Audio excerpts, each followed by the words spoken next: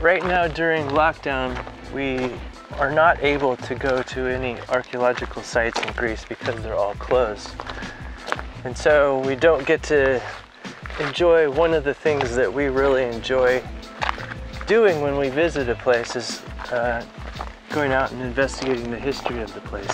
And in Greece, obviously, The place to be is one of the best places to go if you like history in archaeology. in archaeology. So uh, we're disappointed about that, but there are many other more important things to be disappointed about during COVID.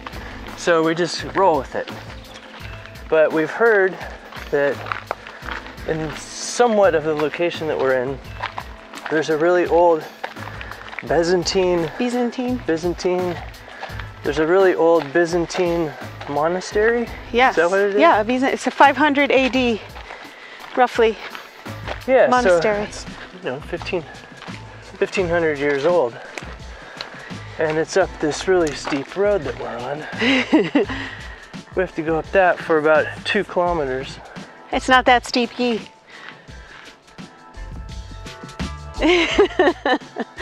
okay, it's a little steep.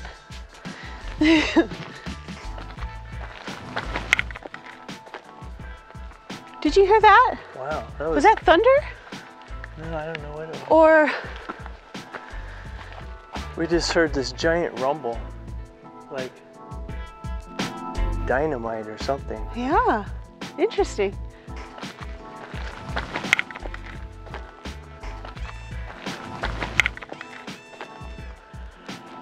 Anyway, that's the view that we have right now. It's just beautiful That is here. incredible view. So we're really excited to we're really excited to be able to see some history and apparently And be on a walk. it's not fenced in. All the other archaeological sites are fenced in right now. So you, you know, we can look at them through a fence, but you can't see all the good stuff or go read the signs or things like that. So this would be pretty cool. We've heard that you can just go there and it's Open. it's You just just there the open on top of this hill. Oh, this is steep. Wow, this is steep. I take it all back, Yee. yeah. We're just walking on our tiptoes right now. Cool, it feels good.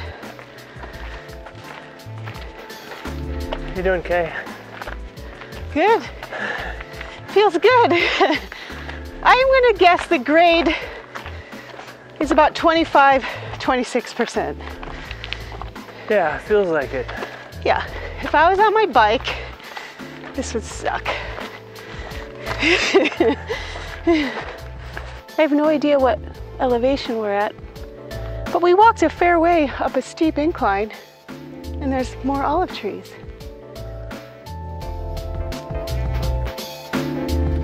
What a view, Guy. Check that out. Only one boat on the water.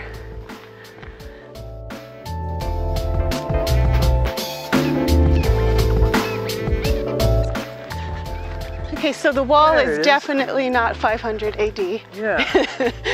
There's the tile roofed building. You can see it though in the middle.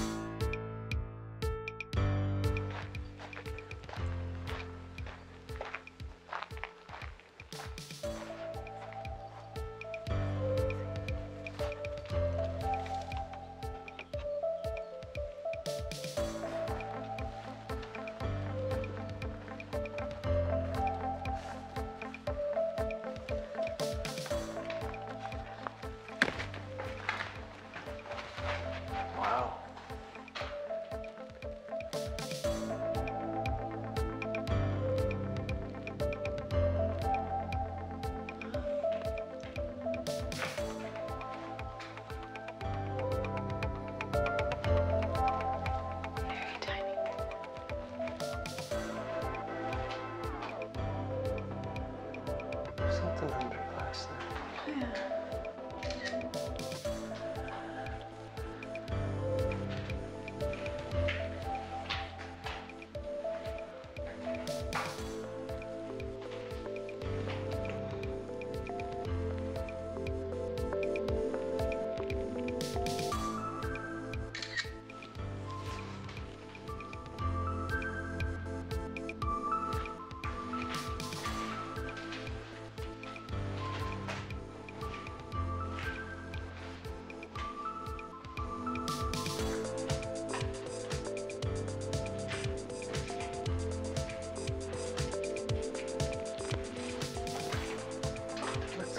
Used to be fresco in there too, maybe. Yeah. Mm-hmm.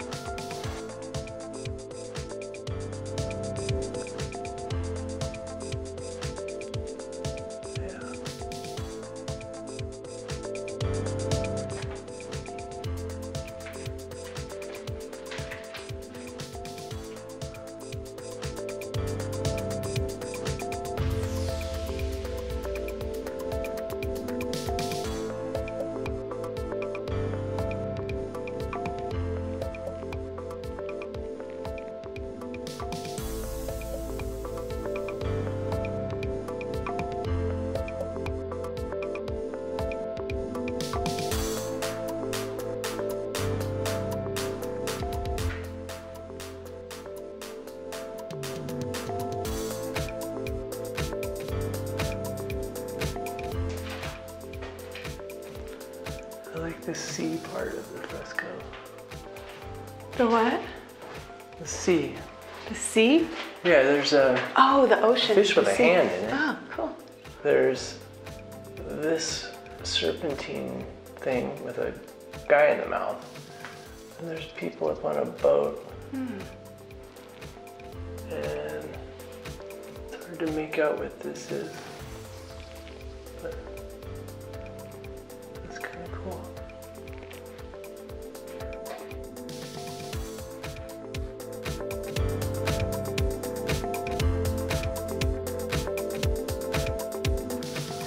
Always like looking at the details of the um, clothing and the objects that everyone's holding rather than the whole religious connotation. And I like to look at the fabric, the texture, and imagine that. I think that's really fascinating. It's pretty cool. Yeah. Yeah.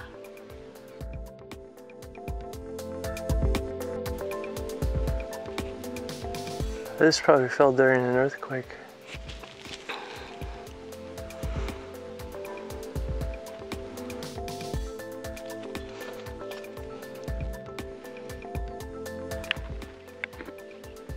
Pretty cool. We used to have these plants in our yard.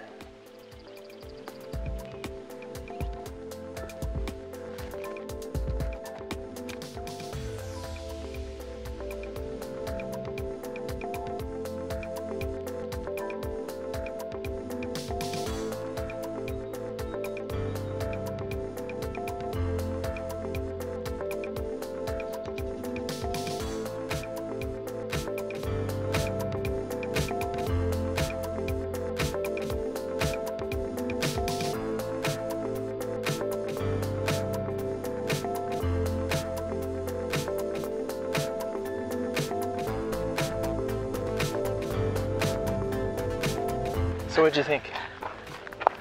As we leave. Well, I, I'm just amazed. It's ama- It's just wonderful to actually walk inside something that's was made in 500 AD, hand built, painted. Yeah, by one guy. It took him 10 years to make, apparently. I think that's the That's story. We'll have to double check. yeah. And a monk, not just a guy. Yeah, right. and uh, yeah, so that's fascinating to just be in that. Um, I can't imagine Greece can care for every single archaeological site that There's so exists. many It would just you would spend so much money and resources, but so it's weird to see something like that in a little bit of a disarray or just not kept up, but I, I can totally understand why. So this is a string of these insanely evil caterpillars. Yeah, they are terrible. Oh my God, they I just about stepped on them. rashes and they've killed dogs because they swell their tongue up. And we heard a story of a guy whose dog drank out of a bowl with those. And they had That to were cut, in the bowl. That were in the bowl, and they had to, to cut part of his tongue out because it, it the tissue died. That's awful. Yeah, so you stay well away of those little guys. This is like uh, publicly owned land. So we're, it's in, we're in like a national forest, comparable to a national forest. And so we just saw Luca riding his bike from up there all the way down here. And there's actually there's actually a loop that goes from La up here and then back. So he'll he'll see our car at the junction and realize that we're up here. so it's kind of cool. I can't wait to ride. If you've ever noticed the introductory part of our videos, there's a bunch of still pictures that flash by, and several of them are of mountain biking. Our idea was to have our mountain bikes on our sailboat, and then we would mountain bike all the different places that we go. Because that's something we enjoy. We enjoy sailing and mountain biking. And our mountain bikes right now are still in Florida. Sad. Sadly, because it would be really fun to have them here, but since we've never known if we were going to stay here very long, we haven't shipped them over. Right. We're always living like two weeks at a time without any long-term plans. So uh, we were just hold off on doing anything as a, as a big commitment, like shipping our bikes and then having having to leave. So we're waiting patiently. So the plan is if we get our visa, at least another three month visa, then we're going to have our bike shipped over to us. Hey everyone, thanks so much for watching. If you liked the video, please like and subscribe. If you have any questions or comments, please leave them below. We love to read your comments. And be sure to watch our next video where we share a really big announcement about our future with you. See you next time.